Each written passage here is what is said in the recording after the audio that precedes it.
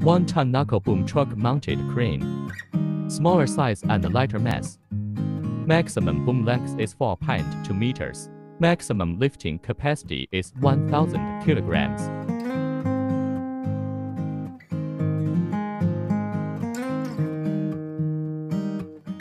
Adopting integral slewing bearing.